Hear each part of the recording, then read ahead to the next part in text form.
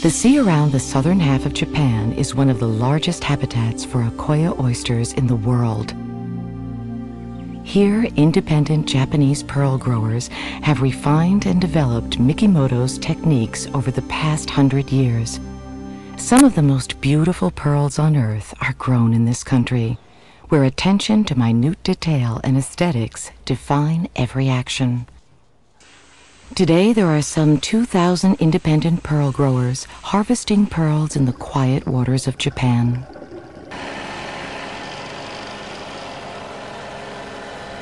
Large and small cultivators alike employ the same basic techniques necessary to grow these lustrous gems to perfection.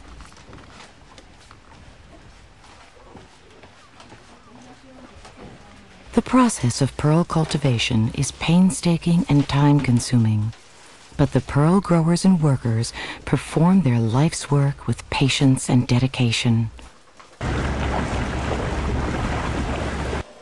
To diminish the risk of overexploitation and species extinction, a sizable amount of Japan's Akoya oysters are laboratory bred in tanks. This method breeds hardy and healthy oysters, which will produce pearls known for their superior luster and color. Oyster breeders employ the most modern scientific methods of breeding and always select the highest quality nutrients to ensure healthy oysters.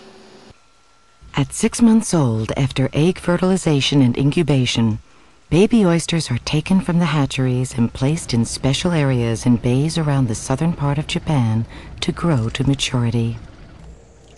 This is the beginning of a miraculous partnership between man and nature. When they're grown to maturity, which is about three years of age, the healthiest oysters are selected and brought from the sea and placed in holding tanks.